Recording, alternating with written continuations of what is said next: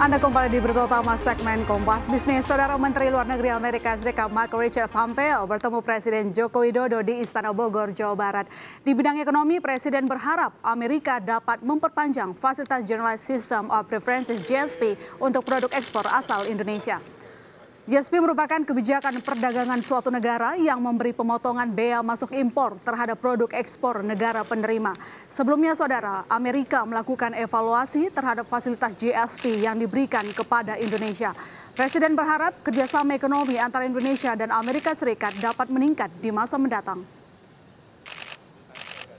Presiden menekankan bahwa Indonesia ingin melihat kerjasama ekonomi kedua negara meningkat di masa yang akan datang, termasuk tentunya harapan terhadap perpanjangan GSP Facilities kepada Indonesia.